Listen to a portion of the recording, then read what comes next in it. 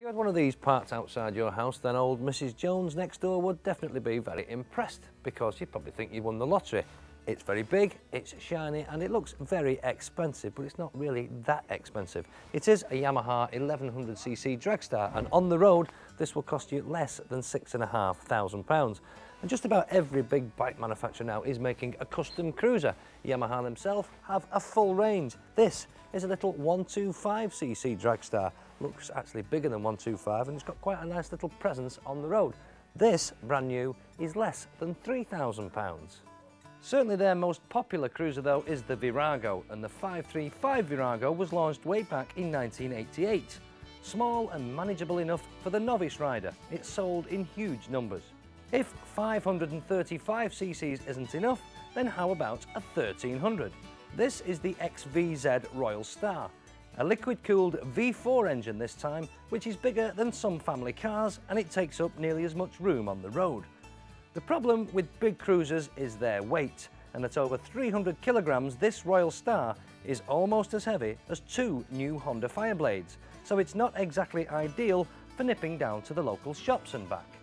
It is perfect though for posing, and you can enjoy many hours of relaxed riding in its luxurious padded seat.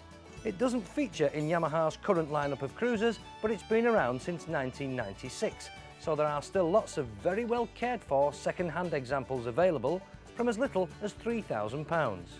Bigger and heavier still is Honda's F6C or the Valkyrie. 1520 cc's is the size of this flat six-cylinder motor, which has been lifted straight out of a 1500 Goldwing.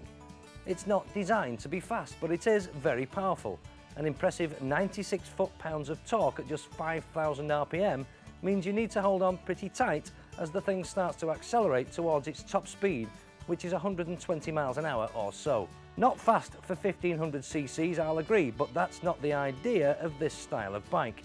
They're all about relaxed riding in supreme comfort. Kawasaki have enjoyed great success in the cruiser market with their popular VN range. And a few years ago, they decided to offer something slightly different with this, their Drifter. Available in 800 or 1500cc versions, it's what you might call a retro cruiser. With looks not dissimilar to an old Indian motorcycle, it's designed to appeal to the rider who likes the cruiser image and style, but is perhaps not so keen on having to clean acres of chrome after every ride. A brand new 800 Drifter will cost you £6,000 and the 1500cc is 8,300. Kawasaki's latest addition is the VN 1500 Mean Streak, a cruiser which they claim now has performance.